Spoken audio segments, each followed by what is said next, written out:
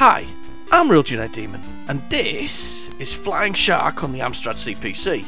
This is uh, an arcade game by name. Um, the license was given to Firebird back in the day, and and it's a, basically it's a vertical shooter where you play a biplane. It's pretty good. Um, however, the Amstrad here has suffered from its usual problem, um, or the usual problem, or common problem of the time, which is that basically it's it's it's a port from the Spectrum. Um, it's not a bad port, in fact it's better in a number of ways, one of which is the colour clash is gone, however we're down to the four colours on screen, um, yes the higher resolution, I think the speed has been is slightly slower than the Spectrum version, um, and it shouldn't be. Um, this is one of those games that, you know, if Firebird had gone to the effort of actually, um, you know, um, converting this properly, this would have been, a, uh, this would have been, well, this would have been a classic. This would have been a game that you would have had to have. Um, it plays okay, I mean it's, it's fine, it plays place. It, it you know that it's it's it's it's a conversion of an arcade game. It's a it's a it's a shoot 'em up. It's it's it's it yeah it does the job. But but as I say, it's it's been a it's a it's a Spectrum one. But as I say, one of the beauties of it is because of the lack of color clash that Spectrum suffers from, at least at least you get a few more colours on screen and in the centre screen because the Spectrum version is monochrome. Um, but also get um, a sort of an easier thing, uh, you know, sort of uh, a rolling background. It's easier to see what's going on. So, right, okay, let's see how far I can get on this while I'm playing it. Quite enjoyed it actually, to be fair. Um, as I say, I would just loved it to have got the full, the full sort of Amstrad sort of um, full 27 color palette um, that you at, at, the time that you could have got, but never mind. Um, it would. I, I think. I think it would have blown people's brains out if that, that actually had happened.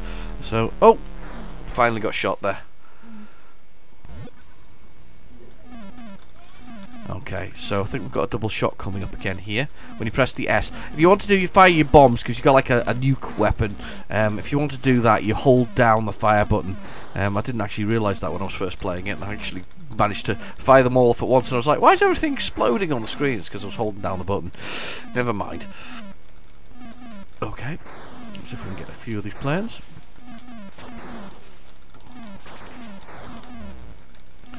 See if we can see a few. And the sound effects are pretty, pretty, um, you know, there aren't there aren't much to them really. Um, but as I say, it plays well enough, um, and as I say, it doesn't suffer from the colour clash that the the Spectrum had. However, I could have, I would have loved to have seen this sort of given the full colour treatment. It would have been lovely, wouldn't it? I understand at the moment, though, that what's in development for the Amstrad is a remake of um, Slap Fight. Now, I'm I'm a big fan of Slap Fight. I don't know why, because it's not. It's a it's a shoot 'em up. Um, it's a not a particularly. Uh, it's a very difficult shoot 'em up, but it's not. But I I wouldn't. I, I don't think you you know. I don't know. Uh, on shoot 'em up front, it's not. It's no 1942 kind of thing. That's the, what I uh, you know. Is kind of that is that the gold standard. I don't know what the gold standard of shoot 'em ups is actually. What is the gold standard of shoot 'em ups? Put it in the comments below if you know what the gold standard of shoot 'em up, because I would actually like to try it. Because I have a thing for shoot 'em ups. I'm not very good at shoot 'em ups. However, I do have a thing for shoot 'em ups. Um, it's just sort of one of these things. I love them. I love playing them. I think I like the the, the, the, the, the waves of things and the, the, the, the, ease at which things are destroyed and the, the, the way that they just sort of it's just it's just something good about blowing stuff up. Um, I think that's it. I think I've just got a I think I've got a thing for blowing things up. Right, that's a shot thing. Ah, crashed into the plane there. Didn't see it. Damn it, missed it. Okay, one up.